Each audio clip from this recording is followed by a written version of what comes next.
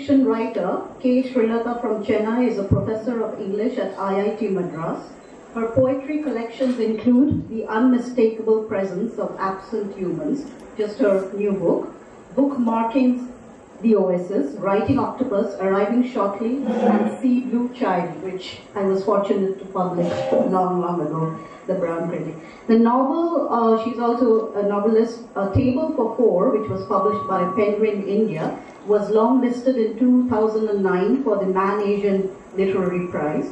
Sri Srilata was awarded the first prize in the All India Poetry Competition organized by the British Council and the Poetry Society, India, uh, in 1998. She was also awarded the Unisun British Council Poetry Prize 2007 and the Gauri Majumdar Poetry Prize again. That's my mother's name actually, 2001. She's the editor of anthologies The Rapids of a Great River, the Penguin Book of Tamil Poetry, short fiction from South India published by OUP, All the Worlds Between, a collaborative uh, poetry project between India and Ireland, Yoda Press, and uh, many others. So I'm just skipping a little bit there.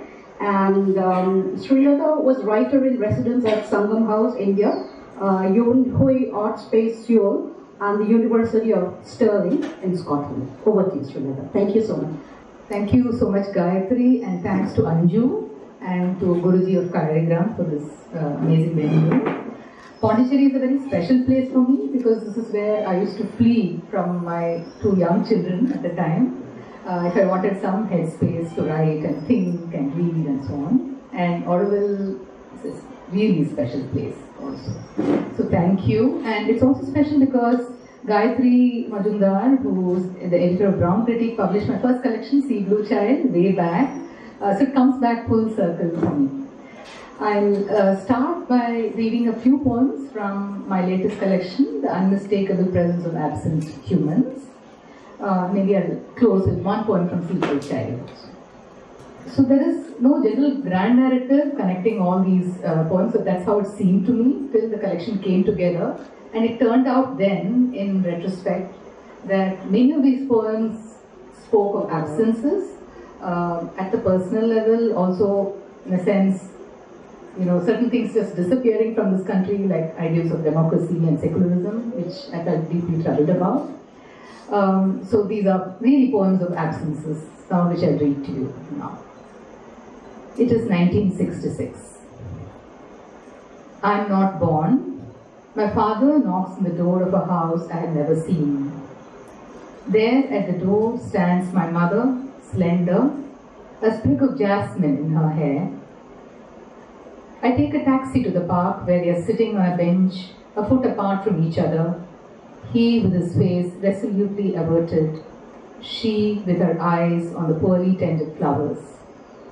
It is the beginning, I know, of that great quarrel.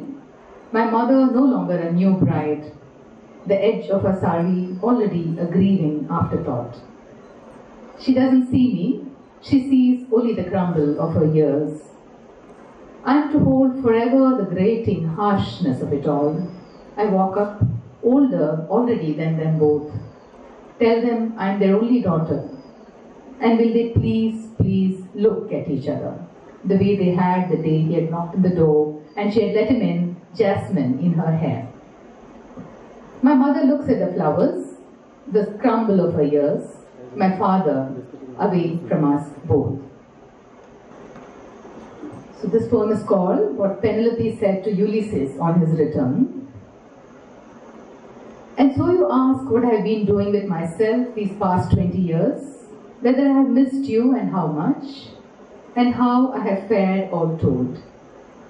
That first one year I hurt all over, your absence leached into my bones and dimmed the sun that insisted on rising each morning. When they brought Telemachus to me, I turned away, refusing to take him in my arms. How could I when he looked so much like you? The ache in my bones, the dimming of the sun, my turning away from Telemachus, these are easy to conjure up, but not so the rest. Soon my fingers became birds. I sent off to look for words I can weave into this poem. I'm writing even as we speak. But I'm growing less and less hopeful. The words I weave by day, I unweave by night. for I find they won't do. Twenty years of missing you, Ulysses, and the trees for each year are still in hiding, an entire forest of them, out there somewhere beyond the flight of birds. Sita. I'm not gone yet, she whispers to the boys as they sleep, and even though it looks as though I walked out on it all, and even though it's what I wanted most of the time, to return to the earth, to leave it all behind in a grand gesture, I find I've been outwitted after all. For the going away is easy, but the leaving behind isn't. This keeping vigil has become a habit impossible to kick. And you, my boys, are my very heart. Tell your father, I'm neither golden image nor ghost. I'm that mother's face which looks back at him from all the palace mirrors, flame scarred and bright. Siamese twin. Do you remember the day it rained like it would never stop, and you and I on Mango Hill watching her cling to her stillborn, and me wondering in my swimming head, which one of them is dead, dead? Both of us thinking Siamese twins with our common seeing, dreaming eyes, and you saying too quickly, such love is common in the monkey world. Such love, such love. The phrase like a loaded gun, and both our hands on the trigger. Looking for light, sunbirds. Looking for light, sunbirds hop on hopeful, spindly legs. I'm no different. The same distaste of darkness, and at dusk the same torment of light failing. Often the only light to be had is desperate and feeble, too deep to access. My body, a vanishing sun from which I must rescue that one sweet ray or remain forever bereft. Father. Sometimes I say I'm going to meet my father at the park, even though I have no father, just because it makes me like those others I knew with their mums and dads. My father left my mother when I was two, but he still loves me. My father left my mother for another woman when I was two, but once a week we meet in the park. He buys me cotton candy and sometimes we read a poem or two together. Today I left my office in the pouring rain just to meet him, just to eat that cotton candy which he insists always on buying me. And every night I dream of him with a cotton candy beard, and the beard becomes the most important word in the poem I have always wanted to write. I've forgotten my phone. I'm carrying a book of world poetry in translation.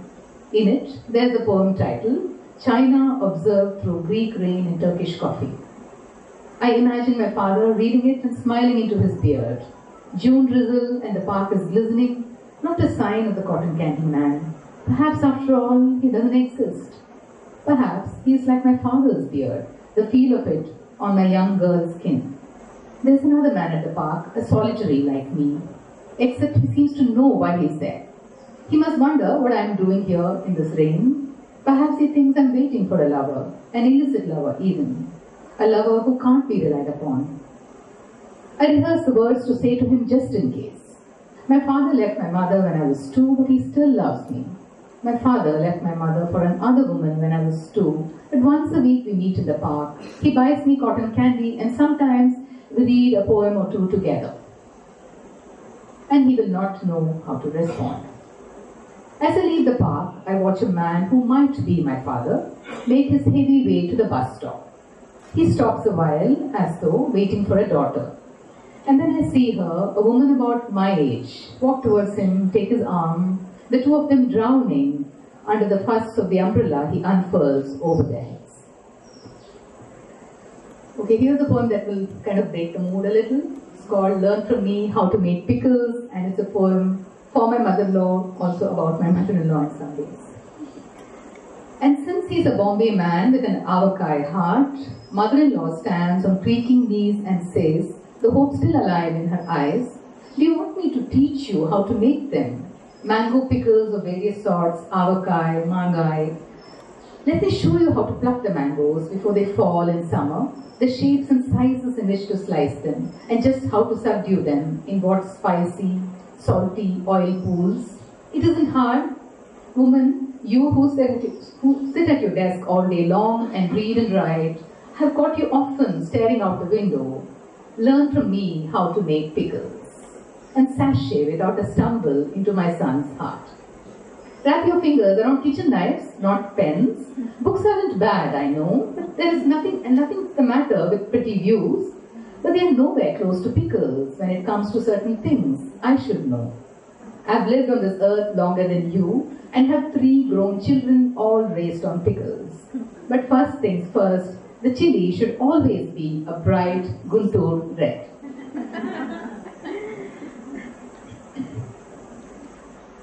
a woman of letters. Some days, what I want is to be a woman of letters, to retire to my study and be solitary. I can see it all, that desk, neat, rectangular, coffee brown, its draws, seductive and deep, holding secrets from another age. On it, some paper, a pen, and an inkwell. And a bookcase filled with every kind of book. Austen, definitely, and Dickinson and Chughtai. No adolescent daughters abandoning dresses in contemptuous heaps. No grubby sons, their dirty socks like bombs under my books. No spouses, no mothers, no mothers-in-law with their urgent thoughts. Sometimes all I want is to be a woman of letters. Between chores, the very idea makes me be. England 1999. It turns out that my hostess is a wonderful woman, kind, house proud, and gracious in the extreme. I couldn't have asked for more. She hovers around me like a small butterfly, pointing out the songbirds, the excessively clear skies, air crisper than fresh toast, the cheerful cows bursting with good health and milk, and the trees. And then she pops it, the question I've been dreading all along. So what's it like in India? We, we are a developing nation, as you know, I say beginning badly. Soon I'm selling the country for less than a song. Our cities are full of building trees, their leaves covered in dust. You're lucky if you see a bird. The air is always hot with smoke, our cows are parchment thin, and our skies, no one has the time for them. All along, I'm holding back another story, a story I don't know how to tell. An interior shadow story, and this is how it goes. Back home, laughter can spring unexpectedly from last night's trash. People steal the skies from themselves in the early hours of dawn. Every day they eke out color, weave the sparkle of diamond needles into silk, create the perfect ordinary geometry of columns for ants to feed off, for feet to trample on. These and a million other beautiful things our people do daily. All along, I'm sitting on a dormant volcano of a lie. Our naked babies crawl off the streets and into the embrace of their mothers. Beggars are always fed, women and minorities are safe, and caste is dead. Long after I've said my goodbyes, I dream of visiting on my gracious hostess this shadow story, that volcano lie imploding within. Okay, so this poem is for Atta Muhammad, who's a grave digger and caretaker of unmarked graves in northern Kashmir. And he used to basically just spend his time taking care of unclaimed bodies on both sides of the huge war, ongoing kind of unrest and war. Um, he passed away a few years ago. This poem is for him. I bury them under the witnessing yellow of the chinar. I bury them under the witnessing yellow of the chinar, blood moon faces yet to taste the sweetness of youth, beards just beginning to show, false fake encounters, scarred bodies of great importance to someone somewhere. Sons whose mothers will never find them, infants, young girls with torn vaginas and dreams in their eyes. I bury them all, and the blood in my veins grows still. I have spent my hours naming the disappeared, the dead, the forever gone, uttering prayers over each new grave. I've spent them weeping, and the chinar trees have wept with me. Under the same chinar, my old, happy self lies buried. A friend teases, Muhammad, you've gotten rather good at this burying business, haven't you? He's right. I'll bury anything that makes its way to me. What I cannot bury is the remember. I'll conclude with a just one poem from his first book that Gayatri published. It's really special for me, and I think she set me off on more books and more writing. Uh, so I'll read the title poem. It's called Sea Blue Child, and I will read um, Sea Blue Child. Very, very short poem. Sea Blue Child. As a child, I liked the blue of the sea, sea blue frocks, sea blue happy, sea blue quiet, and languid seashells. Hyphenated, visually one. I even asked a father who never cared for a sea blue frock flowing with frills like the sea. Thank you.